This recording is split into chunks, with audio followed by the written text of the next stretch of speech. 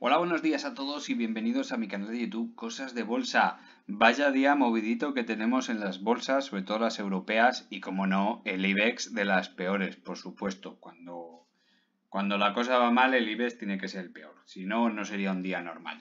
Bueno, hoy vamos a ver ACS, Repsol, Celnex, ArcelorMittal, Bank Fluidra, Aircross, Farmamar, unas noticias que salieron este fin de semana que me parece muy interesante y a colación buscando una información que quería compartir con vosotros sobre precios objetivos de Farmamar, pues han salido unos gráficos que yo no vi en su día que me parecen absolutamente fantásticos, ya veréis. Eh, alucinante. Vais a, vais a flipar con esta información.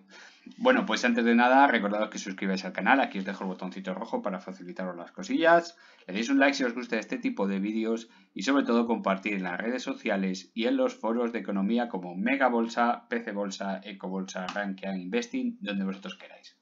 Vamos con ACS, que como la mayoría de las acciones del IBEX 35 en mercado continuo están dejando unos martillos enormes, está dejando prácticamente una vela martillo con una mecha bastante pronunciada, pues que una especie de subidita en un momento determinado que parecía que recuperaba la cosa, pero ha vuelto otra vez hacia abajo. Y bueno, no podemos decir otra cosa que lleva dos gaps seguidos bastante importantes en esta zona de aquí, que no me atrevo a ponerlos porque seguramente veremos movimientos bruscos en los próximos días debido a lo que está pasando en Ucrania, que tenemos ahí a esas dos potencias que se están haciendo las chulas, ¿no? Cuando, cuando todo el mundo sabe que cuando un país potente como Rusia quiere invadir a otro, en perfectamente dos meses está más que invadido. No necesita mucha más, preparación. Lleva así desde principios, desde enero del 2021. No es por otra cosa. No estamos hablando del conflicto de Donbass, que es un conflicto que está en Ucrania, por supuesto que sí, la frontera con Rusia, la parte separatista, donde Rusia apoya, por supuesto, a los separatistas prorrusos, pero esto no tiene nada que ver con la información que nos está llegando. Es decir, no es lo mismo eh, luchar, eh, como pasó con Crimea, o luchar por Donbass, que invadir Ucrania. ¿Vale? No es lo mismo. Es, parecido, por supuesto, algunos me quitan la razón y tenéis, tenéis todo el derecho del mundo, pero no es lo mismo. No estamos hablando exactamente lo mismo. Eh, las tropas necesarias para invadir un país como Ucrania por su orografía, su disposición, el difícil acceso, la gran cantidad de zonas rurales y las fronteras tan comprometidas que tienen, con 100.000 soldados, con 90.000 soldados o con 120.000 soldados, como informa últimamente Estados Unidos, son totalmente insuficientes. Fijaros que Estados Unidos, para empezar a invadir Irak, necesitó desplegar medio millón de tropas y estamos hablando de un país bastante más grande, pero con unos accesos, unos accesos muchísimo más sencillos.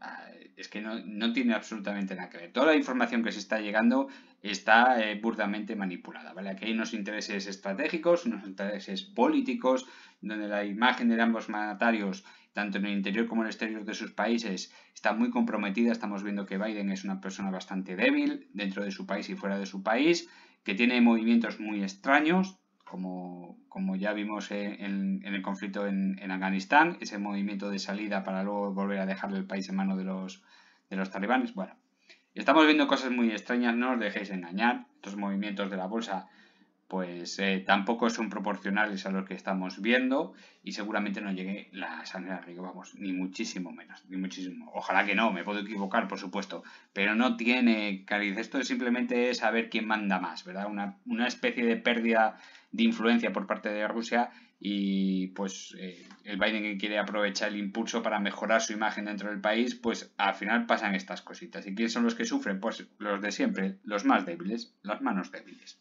Así que no os asustéis.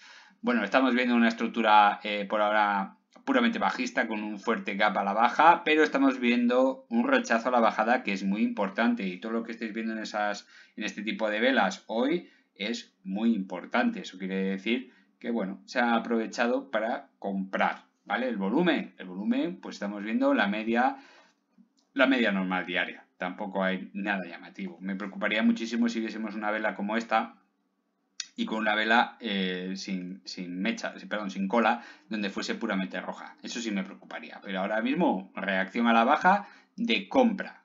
De compra.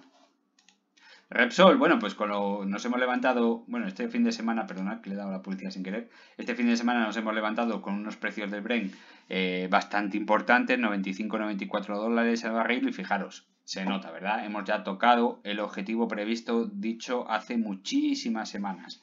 Estamos en esta zona de aquí, más o menos cuando avisábamos que era un buen momento de compra, porque en esta zona de aquí el barril estaba a 86 dólares, había comunicado unos resultados fantásticos y lo que suele pasar en muchas acciones donde hay grandes manos fuertes dentro y bien asentadas es que cuando se presentan unos resultados muy buenos la acción suele caer algo que despista muchísimo a los, a los, minoristas.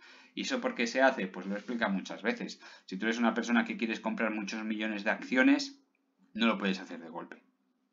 Tienes que tener una estrategia donde tienes que hundir el valor, tienes que convencer a la gente de que es momento de vender, porque si no nadie te va a querer vender sus acciones y si nadie vende, tú no puedes comprar. Y no estamos hablando de comprar mil acciones o tres mil acciones, no, no, estamos hablando de comprar de repente, comprarte 50, 100 mil acciones de golpe en paquetes muy grandes y necesitas que haya muchísima gente dispuesta a vender, ¿verdad? Pues no hay nada mejor para convencer a la gente que venda que es que no sepa por dónde vienen los tiros. ¿Cómo se consigue eso? Pues que te presenta unos resultados extraordinarios, recompra de acciones, aumento de dividendo y le metes un hachazo. Le metes un hachazo en ventas y, la gente ya no sabe qué hacer.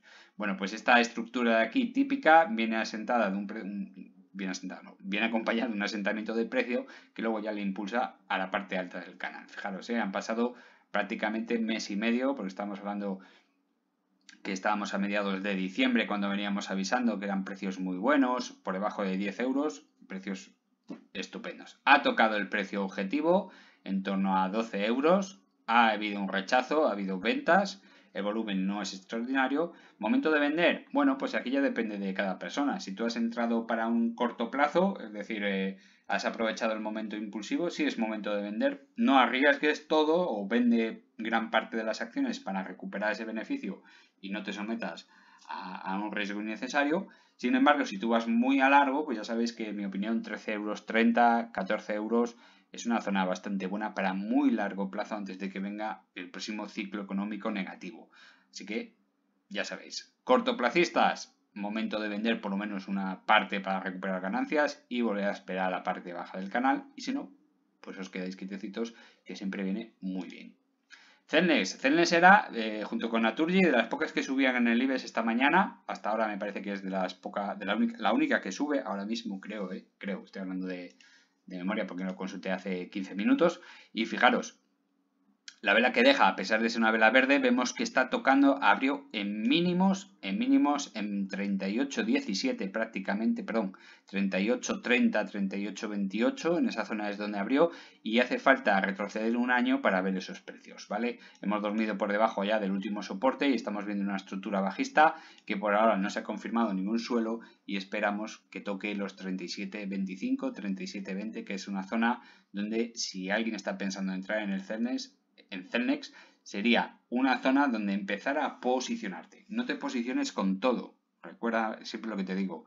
Con mucho cuidado y precaución, siempre que entres en una acción y sobre todo si vas a meter una gran cantidad de dinero, posicionate poco a poco. Sé que vas a gastarte más en, gastos de compra y, de venta, pero bueno, posicionate poco a poco porque eso a la larga te va a ahorrar muchísimo dinero. Sobre todo si vemos una estructura en la que se pierde ese, ese precio y perdiésemos estos mínimos de aquí de 36-38, que podría hacer ver pues, una estructura en forma de taza invertida que podría dar proyecciones muy bajistas. Y para eso tiene que ir acompañada de noticias muy negativas que deben venir de Inglaterra. Así que noticias que vengan de Inglaterra hay que estar muy atento, muy atento con Celnes, porque yo creo, yo creo que no es el momento de estar posicionado hasta que no toque la parte baja del, de este Fibonacci, 37.22, porque las noticias es que pueden salir en cualquier dirección. No sabemos de qué pie cogen los británicos en este asunto, pero en cuanto a competencia no creo que les vayamos a toser.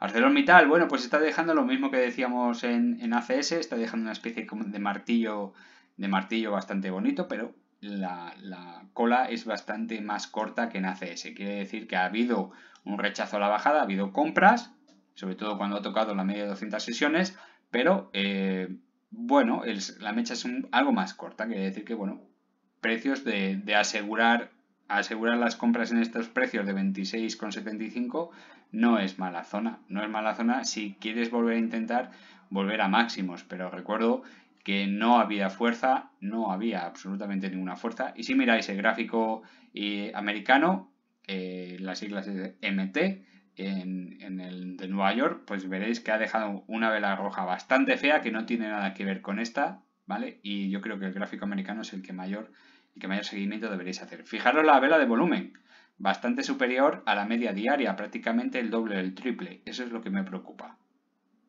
A diferencia de la CS, que teníamos una vela normalita, aquí tenemos una vela con mucho más volumen veremos qué es lo que ocurre. Ya sabéis que ha presentado unos resultados muy buenos, pero comparados, que esto lo hacen muchísimo, acordados de Farmamar que hicieron exactamente lo mismo, comparados con los del trimestre anterior, pues son malos. Claro, esto lo hace mucho. Cuando te toca la lotería, pues lo que cobras es una miseria, ¿no? Ya, pero es que no me toca la lotería todos los trimestres, señores. Lo siento mucho. A mí me gustaría a mí que tocase la lotería todos los trimestres. Claro, si viene alguien con malas intenciones, con ganas de tirar el precio, pues si lo comparas lo que cobras con lo que cobraste en lotería, pues es muy mal negocio lo que estás haciendo. Bueno, pues ACS, o sea, perdón, ACS, ArcelorMittal ha presentado unos buenos resultados, unos buenos resultados, pero utilizaron dos piedras para darle la cabeza. La primera, no fueron tan buenos como los del trimestre anterior, lógicamente, porque eran muy buenos. Y la segunda es que su tasa de crecimiento para el año que viene es muy inferior, es seis veces inferior a lo del año 21 año anterior. Con lo cual quiere decir que a pesar de que tenga una tasa de crecimiento del 2,5 al 3%, comparado con el 12-13% del 2021, pues claro, el precio objetivo pues baja muchísimo. Aunque siga creciendo, el precio objetivo tiene que bajar. Y es porque se está descontando crecimientos que en un futuro no se pueden dar. Y eso siempre es pues una piedra que, que lastra el camino hacia arriba a ArcelorMittal. Ya acompañamos con el conflicto imaginario este ruso, pues imaginaros, estamos viendo una situación de, bajada. Vamos a ver si es capaz de cerrar este gap de aquí, habiendo dejado este, vamos a intentar cerrar el gap por abajo y ya veremos qué es lo que ocurre si quiere continuar en la parte baja del canal o para la parte de arriba, porque aquí ArcelorMittal se está comportando de una forma tan errática que no sabe uno qué pensar, porque fijaros, este canal bajista, cómo lo rompió, sin haber roto la americana, con lo cual es una, es una contradicción en sí misma. Y fijaros cómo lo vuelven a meter otra vez en el canal. Como yo os digo siempre, no me gusta nada que se salga de los canales tan bruscamente si no está acompañado de muy buenas noticias, porque eso lo que hace es caídas bruscas del precio como ha pasado. Así que mucho cuidadito. Eh, Berkeley, esta es, la puse a continuación de, Farmamar, uy, de Farmamar, madre mía cómo estoy hoy, de ArcelorMittal, para eh, comentaros eso que os estoy diciendo. No es bueno que una acción se salga del camino marcado, en este caso este canal tan bonito que está haciendo con sus medias, ¿verdad? ¿Por qué? Porque eso obliga a que la media de 50 sesiones tenga que subir y dispararse, que en este caso Berkeley, joder, ¿cómo estoy hoy? Van Quinter, métete en la cabeza, Miguel, Van Quinter, ¿qué Berkeley? es que como, como empieza por BK, pues yo leo Berkeley soy así un poquito disléxico. Bueno, pues el problema es que cuando tú te sales del canal, en este caso Bankinter tiene muy buenos fundamentales. Acordaros que ha sido nombrado por las agencias europeas como el mejor banco, el más solvente, el más sólido de toda España. Es muy bueno, con unos resultados muy buenos. No son unos resultados increíbles, pero son buenos. Pero esta salida del canal pues obliga a que haya retrocesos fuertes del precio. Y eso nunca es bueno, sobre todo para la gente que compra a precios altos aprovechando que rompe el canal, ¿verdad? Pues luego te puedes llevar un sustito que te puede llevar otra vez como mínimo a la mitad del canal, que es por donde pasa la media de 50 sesiones. Así que hay que tener siempre mucho cuidado. Lo dicho, ¿es momento de vender en Barkinter una vez que ha tocado el canal, la parte superior del canal? Pues exactamente igual que, que en Repsol. Si eres una persona cortoplacista que inviertes en el corto plazo, que yo lo veo estupendamente, bueno, pues a lo mejor es intentar hacer una estrategia de salida parcial, exactamente igual que en Repsol, para aprovechar bajadas e intentar comprar en esta zona de aquí, que además coincidiría con estos mínimos. Haría doble suelo en la zona de los 4,20 euros, por ejemplo, por decir un precio, 4,20 euros haría un doble suelo que le podría tener otro impulso alcista para superar este máximo y estaríamos hablando ya de superar los 6,15 euros, los 6,20 euros, con lo cual son unas ganancias bastante importantes del 50%, ¿eh? ojito, de prácticamente el 50%, que en una onda alcista no se ve todos los días. Fijaros el canal alcista que ha formado, muy bonito, no me gusta nada que lo parta por arriba. Para eso tenemos el canal, para que lo siga. Fluidra la he traído, la traje el viernes y, bueno, pues con esto del, del, conflicto está dejando una vela muy fea, muy fea porque se podría aproximar a un doji de indecisión, un doji simétrico de indecisión, depende más o menos del punto de cierre, porque fijaros, ahora tal y como está tendría una pequeña simetría, pero si cerrasen el precio de apertura en 26.10 dejaría un doji simétrico perfecto. Perfecto. Eso sí, hablaría muchísimo de indecisión y dormiría por debajo del 61.8, con lo cual son muy malas noticias. Muy malas noticias. Se junta una vela de indecisión y dormir por debajo del nivel fundamental 61.8, que con la eh, trayectoria alcista que tiene y lo lejos que están los resultados todavía, bueno, lejos, unas semanas, pues eh, hay que tener mucho cuidado porque le daría tiempo perfectamente a visitar el 50% de Fibonacci que pasa por los 22,80, ¿eh? 50% de Fibonacci 22,80. ¿Sería buen precio de entrada para intentar una, una, buena inversión en fluida? Sería un precio muy bueno. Bastante, bastante bueno. Fijaros, luego aquí en la última noticia que quiero comparar, eh, vienen casi todas las empresas que yo os traigo y es alucinante. De verdad os lo digo, ¿eh? quedaros porque en Fluida eh, os va a sorprender bastante. Aircross, traemos buenas noticias para Aircross, veíamos aquí una divergencia bajista que al final se cumplió, veíamos también aquí una triangulación que rompió en falso por arriba, aquí veíamos un triángulo y cuando llegaba a la parte final rompió por arriba esa triangulación y luego se vino abajo, ¿vale? O sea que venció esta divergencia bajista que la voy a quitar para no confundiros pero al mismo tiempo estamos viendo una divergencia oculta alcista, o lo que llaman los americanos de, los toros, ¿verdad? De bullish, y, bueno, es simplemente porque los toros impulsan la acción hacia arriba. Bueno, ¿dónde está esa divergencia? Estábamos viendo mínimos, mínimos, prácticamente en el mismo precio, haciendo suelo en, el Fibonacci del 50% de Fibonacci, lo cual es muy buena señal, muy, muy buena señal, y el MAC se está comportando eh, de forma creciente. Esto es una divergencia oculta alcista, ¿vale? Y concretamente de clase B. Es que el mundo de las divergencias eh, es lo complicado que tú quieras hacerlo, ¿vale? Porque hay multitud de libros sobre ellas, multitud de artículos y cada uno aporta su granito de arena y con lo cual llega un momento que te llenan el tarro de cositas que te puedes complicar. Divergencia o directa oculta dentro de las divergencias directas y ocultas, alcistas y bajistas. Con eso ya tenemos entre 12 y 16 variantes. Pero luego encima eh, te lo quieren meter en, la clase A, la clase B y la clase C, dando eh, grados de confiabilidad. Con lo cual hay que tener todavía más complejidad. Bueno, pues esta es una divergencia alcista oculta de clase B. ¿Qué significa de clase B? Bueno, pues que es eh, poco fiable habría que confirmarlo con mucho más parámetros, ¿vale?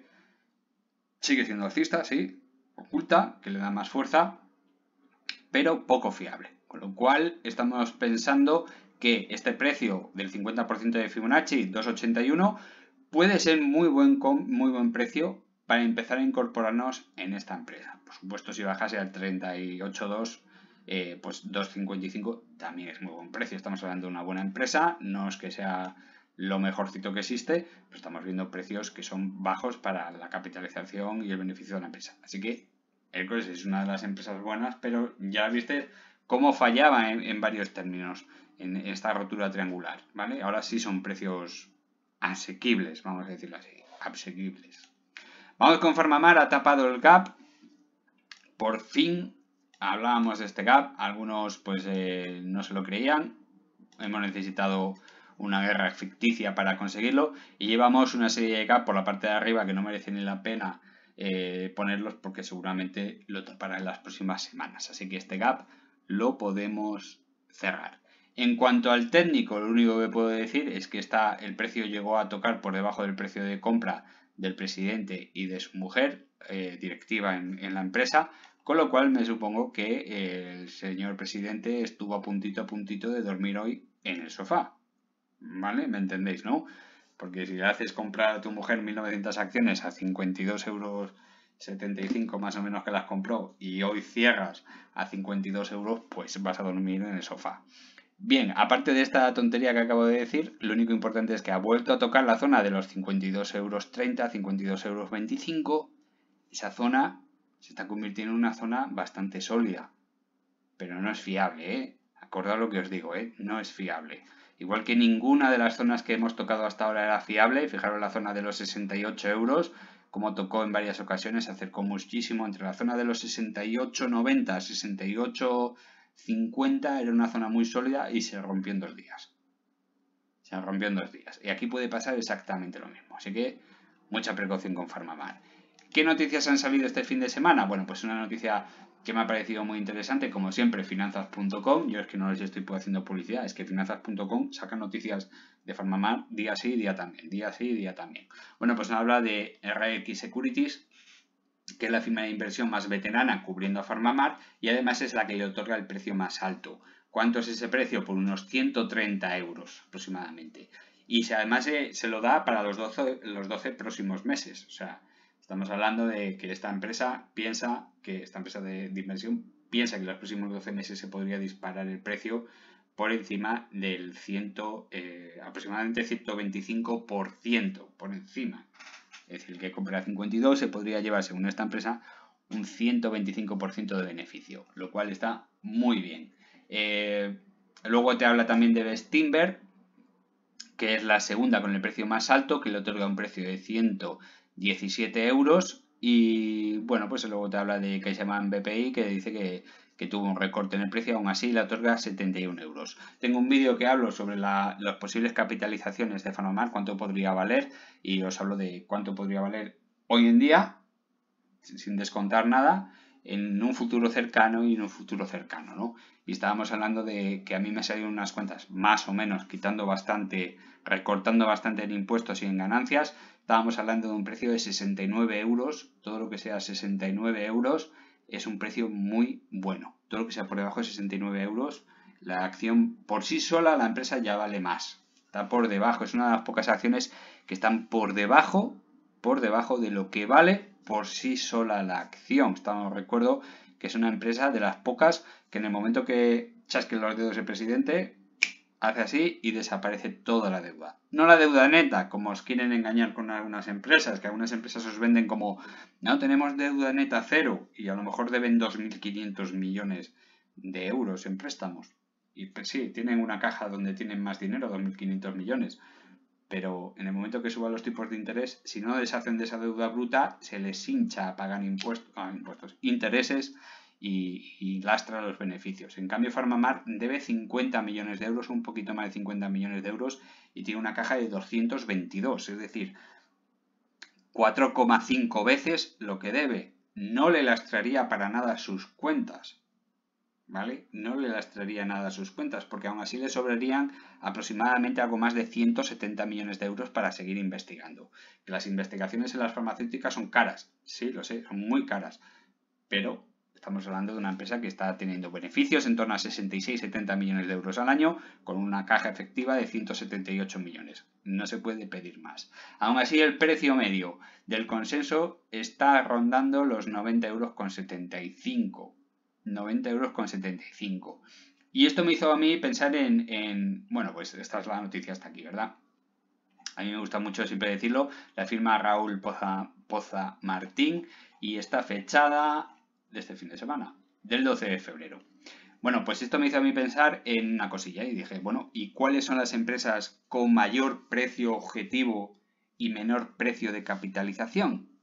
Y efectivamente me puse a buscar, voy a buscar informaciones y por casualidad encontré esta noticia del 2 de junio del año 21, del año pasado, que la firma Pablo eh, Gallén y es de estrategias de inversión, por si la queréis buscar. Y viendo las comparativas de las empresas que, más potencial tienen con una revalorización, fijaros que la primera que aparece es Farmamar, no os lo digo en broma. Farmamar es la empresa que más potencial de crecimiento tiene con una revalorización anual. En este caso estamos hablando de principios del 2020, mediados del 2021, con lo cual tenía una revalorización importante. Fijaros el potencial casi al 40% y estamos hablando de eh, junio, ¿vale? Estamos hablando de junio, esta zona de aquí, donde cotizaba aproximadamente 75 euros. 75 euros. Y era la empresa del IBEX 35 con mayor potencial. Desde los 75 euros hasta los 52 prácticamente va una caída del 50%. el 50%. Imaginaos el potencial que tiene ahora. Sigue siendo la que más potencial tiene del IBEX 35. Y lo que me ha hecho gracia, eh, bueno, pues que la siguiente con más potencial es Indra, una de las empresas que yo os aconsejo aquí. Otra de las que más potencial tiene es Solaria. Ya sabéis que Solaria también, bueno, yo no soy nadie para aconsejaros. Son de las empresas que reitero en el canal por sus posibles potenciales. Fijaros, ¿eh? Farmamar, Indra, Solaria, ACS, Celnes y Grifols. Y Grifols estábamos hablando de precios muy elevados. Os dije que Grifols era muy buena opción cuando tocase el 38.2 y sin embargo ahora está por debajo. Así que hay que tener muchísimo cuidado con estos potenciales, con estos potenciales, porque efectivamente los potenciales para las manos débiles está muy bien, pero para las manos fuertes, ¿por qué te voy a comprar Farmar a 75 euros si te la puedo desplomar a 28? Esa es lo que siempre os quiero intentar enseñar en este canal, ¿vale? Que da igual la razón que tengas y da igual el potencial de una empresa. Si aquí el que mandas es la mano fuerte y tú no puedes hacer absolutamente nada. Tú te metes en la onda y si has acertado la onda sube y tú subes. Si has fallado, pues la ola te arrastra mar adentro y ya veremos lo que ocurre, ¿no? Bueno, pues es muy interesante que os leáis esta noticia de, mediados del año pasado y fijaros que me, cómo hablan con aquellas empresas que más se revalorizan a lo largo del año, pero que tienen potenciales negativos. Estamos hablando del Sabadell, decía yo, un banco del Sabadell no os aconsejo comprar porque tiene unos resultados bastante malos. Fluidra, estaba, también estábamos diciendo, Fluidra es una que traemos ahora cuando el precio ha caído bastante, pero que Fluidra es una de las empresas que está un pelín cara para lo que estaban haciendo. Fijaros, Bankinter antes de resultados, ArcelorMittal antes de resultados, Santander antes de resultados y CaixaBank antes de resultados. Fijaros, ¿eh? De las 12 empresas que hemos nombrado, las 12 son de las empresas que más traemos en el canal. No solo porque, siempre os digo, tener mucho cuidado con los bancos, a excepción de Bank Inter, tener mucho cuidado con los bancos, porque tienen un potencial de revalorización muy bajos. Es decir, están caros y cada vez que tienen buenos resultados entregan mucho dividendo y hace que la cotización, si tú pones la cotización a lo largo de los años, vemos que, por ejemplo, BBVA no ha dejado más que decaer.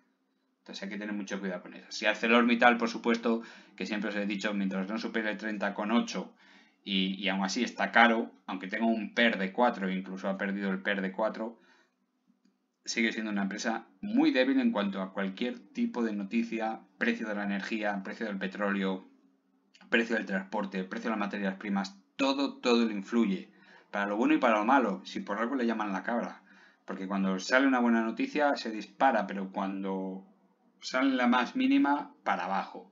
Bueno, y luego hablan de otras empresas, ¿no? de lo que ha caído a lo largo del año las empresas comparado con su potencial de crecimiento y por supuesto era una de las grandes era Solaria debido a la caída esa desde los 31 euros. Siemens Mesa que ahora el potencial se va a hacer pique porque esto de aquí fijaros en antes del segundo profit warning. ACS que sigue siendo unas empresas eh, con mucho, muy, muy potencial. Iberdrola es de las más pequeñitas. Grifols tenía mucho potencial y fijaros cómo ha ido. Y bueno, Red Eléctrica que le hemos traído un par de veces sin más. Bueno, pues me ha parecido un dato muy curioso ver cómo analistas profesionales que se dedican a dar esta información coinciden por lo menos en el número de empresas que hay que traer para estar seguro en una cartera, ¿verdad? Y fijaros, ¿eh? Farmamar, la que mayor potencial, si no es broma. Ahora eso sigo, sigo opinando lo mismo, mucho cuidado, porque si yo soy una mano fuerte, a mí me da igual el futuro de Farmamar. Yo te la tiro a la basura y después la recompro y ya haremos a partir de aquí lo que queramos. Así que por favor, mucha precaución y más con los momentos que están corriendo esta semana, que tenemos esos dos manchitos ahí que se están golpeando el pecho, pues no sabemos con qué motivos. Ya veremos. Bueno, espero que os haya gustado el vídeo. Si es así, por favor, dadle un like compartir en las redes sociales y en los foros de economía como Mega Bolsa, PC Bolsa, Ecobolsa, Rank Investing, donde vosotros queráis. Muchas gracias por verme y un saludo a todos. Chao.